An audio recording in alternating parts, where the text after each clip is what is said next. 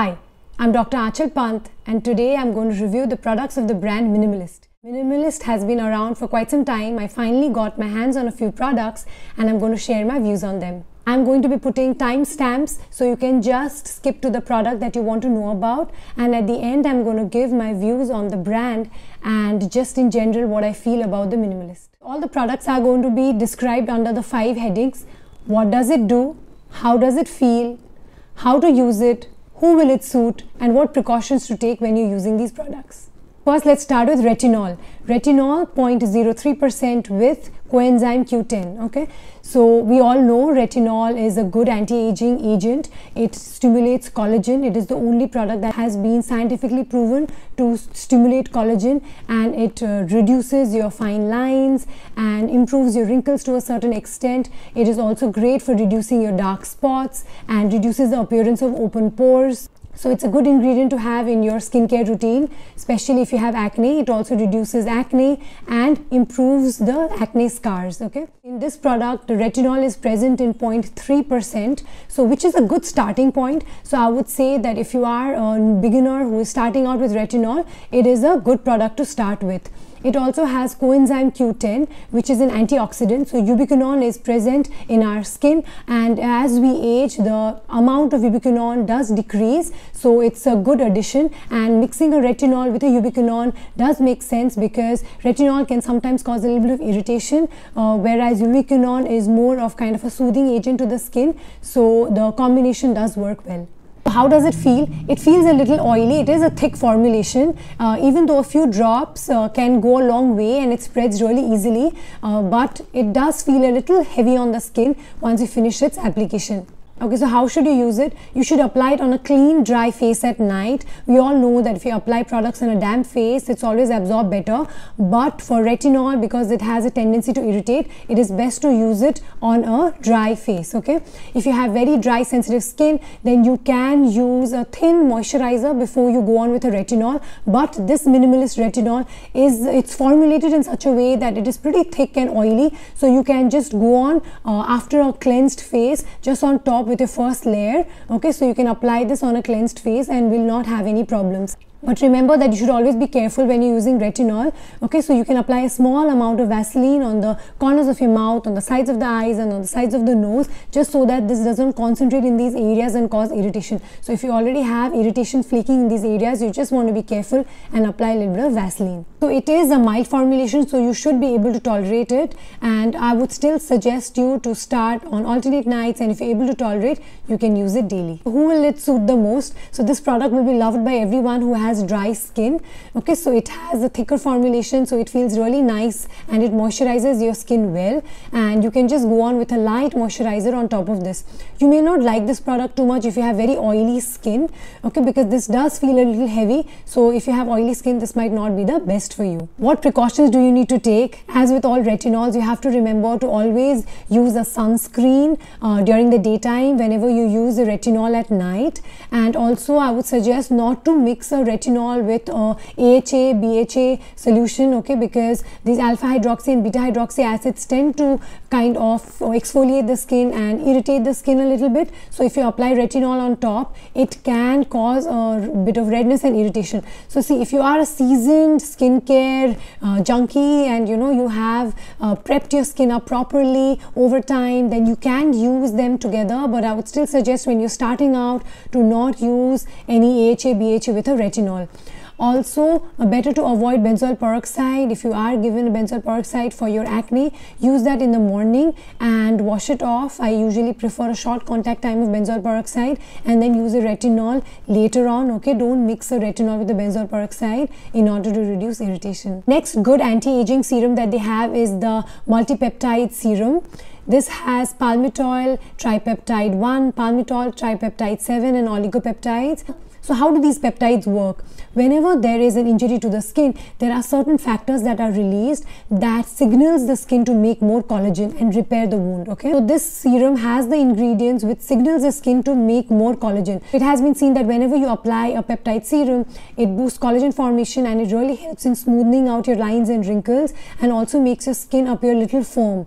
Okay, so see if you have a lot of sagging skin it's not going to uh, you know make it all okay with just application of a serum but if you have just started noticing early signs of aging or if you want to improve your fine lines and wrinkles then this multipeptide serum does work well it also improves the skin elasticity and makes your skin appear more smooth and firmer because it is kind of reducing the appearance of fine lines. It tends to give your skin a better feel and a more smoother appearance. How does it feel? It feels a little tacky. Okay, it does spread easily. So about three to four drops is enough for your full face and one or two drops for your neck okay so it does feel a little sticky after application. So i would suggest you can go on with a light moisturizer on top of this. So how do you use it? You can use a multipeptide serum at night. Okay so on top of your retinol you can seal it on with a multipeptide serum. So the combination of retinol and uh, multipeptide serums work really well. So both of these are really powerful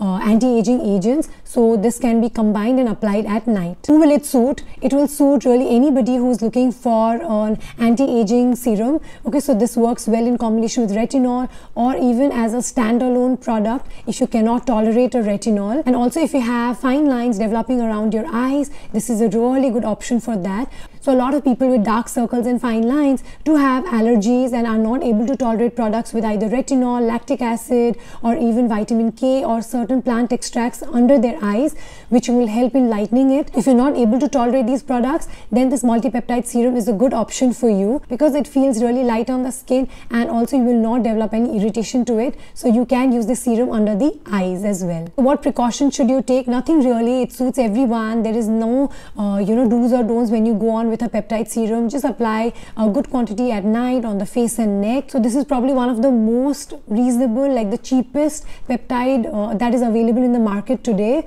So it is definitely worth a try. Just remember that you have to use it for about 6 to 8 months to completely see its benefits. So next let's move on to their vitamin C serum. So their vitamin C has ethyl ascorbic acid in 10% along with acetyl glucosamine. Vitamin C always has stability issues. All the studies that have been published published regarding the benefits of vitamin C have been mostly done on L-ascorbic acid which can be a little irritating and is also a very unstable molecule. So now there are coming up with new formulations to make the molecule more stable. So ethyl ascorbic acid is a slightly more stable formulation of vitamin C. We are still not very sure, you know, how much of the vitamin C actually penetrates the skin, how much of it actually helps in stimulating collagen, but it is a good addition to your skincare if you're looking for a slight brightening effect. It also contains acetyl glucosamine, which is a good addition. It is a precursor to hyaluronic acid, so it helps the skin to produce more hyaluronic acid. So it helps in uh, improving your skin hydration and also in smoothing out your fine lines. It is also shown to reduce uh, melanin formation so it might help in reducing the dark spots as well. So what does it do? We all know vitamin c is an antioxidant so it helps in reducing the free radical damage that has occurred after sun exposure or due to daily oxidative stress to the skin.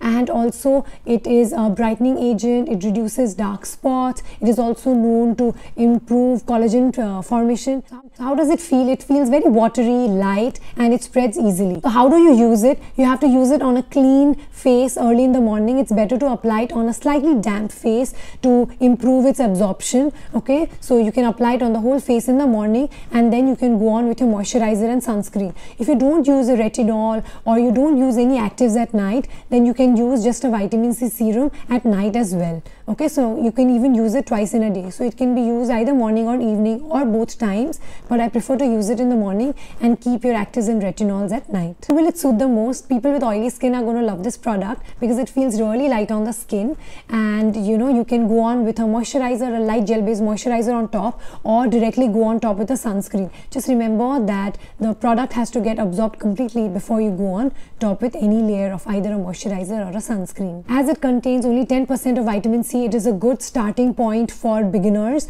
So I would do not suggest to go, go in for 15 or 20% when you're just using it for the first time because that can lead to a little bit of irritation and it does cause a little bit of a stinging sensation okay so it's always best to start with a 10% vitamin C so remember that vitamin C is the best and it's formulated between 8 to 20%.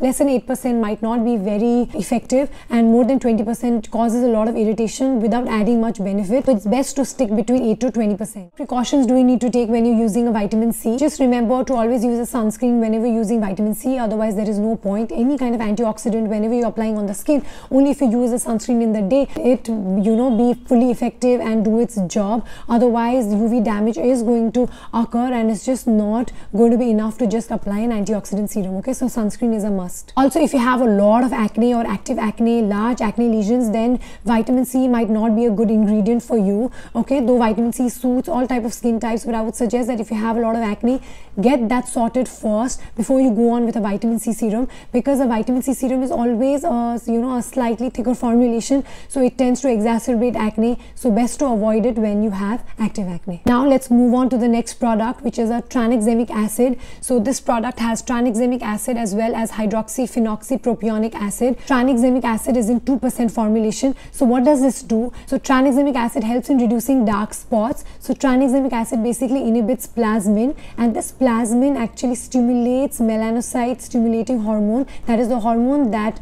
makes melanin okay? So it blocks that. And it also has an anti-tyrosinase activity that means the enzyme which helps in making melanin it inhibits that as well. So it helps in reducing dark spots. It also helps in reducing uv induced skin darkening. So i would suggest using tranexamic acid whenever you're expecting a lot of sun exposure because tranexamic acid does help in reducing the damage that can occur after uv radiation exposure. So the hydroxyphenoxy propionic acid in this is a good adjuvant to tranexamic acid. So this hpa reduces reduces the melanin transfer to the keratinocytes okay? So we have two types of cells in our epidermis. One is the keratinocyte and one is the melanocyte. So this melanocyte is the one which makes the pigment melanin. So the entire skin structure is formed by the keratinocytes. So these melanocytes form melanin and they transfer it to the keratinocytes. So this transfer is blocked by HPA so it helps in reducing the dark spots. So how does it feel? It does feel light. It is slightly oily but it does not have any kind of a sticky feeling to it and it spreads easily. So how to use it? You can use it on a clean face at night. You can even use it on top of a retinol. So you can go on with a retinol first and then apply a tranexamic acid on top. Who will it suit? It will suit anyone who is trying to combat dark spots but it's a very mild skin lightening agent. If you have a lot of melasma and dark stubborn dark spots then just using tranexamic acid may not cut it for you. Okay you'll have to visit a dermatologist and get a proper prescription skin lightening agent if you want to lighten your melasma. But this is a good maintenance you're just starting to develop a few dark spots and a few freckles uh, you know or you want to get rid of those acne dark spots which are light then this tranexamic acid will be a good addition in your skincare routine. So what precautions to take? As with other skin lightening agents you have to use a sunscreen during the day in order to make it effective. Now we move on to the next product which is an alpha arbutin so this product has alpha arbutin 2% with aloe vera. So how does it work? Alpha arbutin is a tyrosinase inhibitor so it inhibits the enzyme uh, that is required for formation of melanin. So hence it reduces melanin formation and improves your dark spots. How does it feel? It is pretty light and non-sticky and so you can apply it as a first layer on a cleansed face and go on top with your moisturizer and sunscreen. So how to use it? You can use it twice in a day on a cleansed face. This can form a first layer and then you can go on top with your moisturizer and sunscreen in the morning or go on top with a moisturizer only at night. Okay, so it can be used twice in a day. Who will it suit the most? So anybody who is looking for a skin brightening agent which has the ability to reduce dark spots or anybody who is just beginning to notice notice light dark spots can use this product. It will help. So you can use it even just on the dark spots or on the whole face. In our skin type darkening around the mouth or darkening on the sides of the face is very common. So this can help in reducing that as well. If you have freckles or post-inflammatory hyperpigmentation or if you have dark spots that has been left behind after acne you can use this product twice in a day to reduce it. So what precautions to take? As with all skin lightening agents uh, you have to make sure that you're using a good amount of sunscreen during during the day to get the full benefits of the product. Now let's move on to the next product which is niacinamide with hyaluronic acid. This product has niacinamide 5% along with hyaluronic acid. So what does niacinamide do? Niacinamide is a vitamin B3. It helps in improving ceramide production. So it does repair the skin barrier. It is also anti-inflammatory so can reduce your acne and acne eruptions and the inflammation that is associated with acne. It also reduces dark spots by reducing melanosome formation. It also also reduces oil secretion from your oil glands. So it is a good addition if you have acne prone skin So how does it feel? It is very watery, spreads easily and does not feel sticky. So how should you apply this product? Since it has hyaluronic acid in it, always remember to apply it on a damp face. So when you wash your face in the morning and when your skin is a little damp, that is when you want to go on with your niacinamide and hyaluronic acid serum. Apply this evenly on a whole face and seal it with a moisturizer. Always remember to apply it on damp face and seal it with a moisturizer. This is very important in order to lock in the moisture. Otherwise the hyaluronic acid is going to absorb water from under your skin okay and it can actually make your skin appear more dry. Especially if you're living in a very dry environment where there is no humidity hyaluronic acid will not get any moisture to hang on to. So it tends to absorb moisture from under your skin and dry your skin out okay? So that is something we don't want. So always remember to seal in the hyaluronic acid with a good layer of moisturizer. Who will it suit the most? If you have acne prone skin and you feel that you break out very easily with a lot of moisturizers this is a good option for you. You can use this as a moisturizer okay? So uh, niacinamide hyaluronic acid combination is great for reducing your inflammation that occurs because of acne and also in reducing oil formation. So this is a good option for you so just a quick note, niacinamide is very, very hyped. It is touted to be, you know, this magical ingredient which kind of corrects everything from your open pores to dark spots to acne, also anti-aging benefits. So I want you to take that information with a pinch of salt. Okay, it is a very mild agent. It does help in improving all those issues that I mentioned, but it is not very, very robust. So just using a niacinamide is not going to help with all of your uh, skincare concerns. Okay, but it is a good addition and it is a mild ingredient well tolerated. I also suggest you to stick to 5% uh, niacinamide, not go on for 10 or 15% niacinamide because just higher percentage does not mean it is better. Higher percentage can also come with a lot of irritation and you know that can really lead to more darkening over the long period. So I would not suggest you to go for a higher percentage and stick to 5% which is good. It is well tolerated, does not cause irritation and also serves the purpose of reducing your acne formation and also repairing skin barrier. What precautions should you take whenever you apply this serum? Always make sure that you go on with a good thick layer of moisturizer in order to reduce the drying all these products, vitamin C, tranexamic acid, uh, arbutin and niacinamide can help in reducing dark spots. But remember that they are all very light uh, skin brightening agents, okay? They are very mild. So if you have very stubborn dark spots or dark spots that are just not going with any creams, then these creams are also not going to make too much of a difference. You will have to visit a dermatologist and take a proper prescription medication if you want to treat your melasma or stubborn dark spots, okay? These might not help too much. But these ingredients are great if you're starting to develop mild dark spots or you have a tendency to darken. So as a prevention also these ingredients are great to add to your skincare routine. So my final thoughts on this brand Minimalist. It is heavily inspired by the pioneer in this field of uh, transparent skincare which is the Ordinary. So Ordinary brought in a lot of uh, change in the whole skincare field, you know. Brands became more conscious about what they are putting in their products. Also very transparent about what all ingredients are going in and the percentages of the exact ingredients which is all very beneficial for the consumers. So I do feel Ordinary brought this huge change in the skincare market market and minimalist is heavily inspired by the pioneer in this field of uh, transparent skincare which is the ordinary. So ordinary brought in a lot of uh, change in the whole skincare field you know. Brands became more conscious about what they are putting in their products also very transparent about what all ingredients are going in and the percentages of the exact ingredients which is all very beneficial for the consumers okay? So i do feel ordinary brought this huge change in the skincare market and minimalist is heavily inspired and kind of bordering on the line of plagiarism which I do not fully support. But I do feel that brands who are coming out with this transparent skincare line is really going to benefit both the consumers and uh, you know people like me who would want to prescribe products and know exactly what is going on in the ingredients. So I know uh, for the what is best suited for the patient okay? But I do like that there is a range of skincare products that are available with uh, pharmaceutical grade ingredient and potent ingredients which can help in targeting and battling uh, common skincare concerns that we have. So I do appreciate that. I did try to order a few products of Ordinary uh, so I could compare it with the Minimalist but whatever products I ordered from Amazon turned out to be fake but I will try to again uh, purchase it and review it separately so please let me know in the comment section below if you know any good vendors who are selling authentic Ordinary products I would really appreciate it. I hope you found this video useful